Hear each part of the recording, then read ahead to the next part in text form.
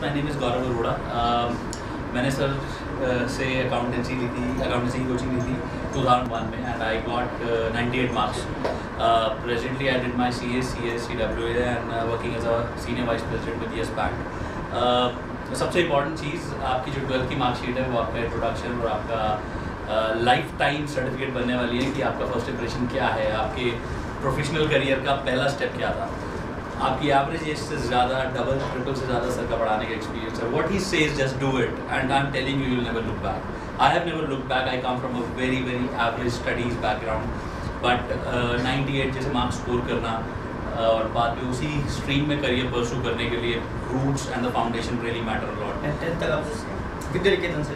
I was in Vidya Niketan which is which was actually a Hindi medium school then I move to CBSE so challenges बहुत सारे थे. Uh, मैं जानता हूँ मतलब sir ने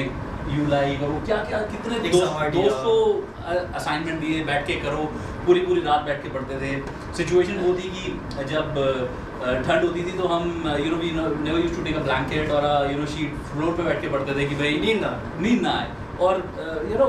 सर से रात को दो बजे भी सर उठे रात को दो बजे एक चक्कर मारने हैं क्या कर रहे हैं वहाँ पे भी कोई नहीं पूछ लो। तो मैं ये बात नहीं मान सकता कि आप कभी कोई डाउट पूछोगे और सर के पास टाइम नहीं होगा या सर आपको आंसर नहीं करेंगे. So you have that privilege available you have that opportunity available make good use of it make an impression which will last for your life so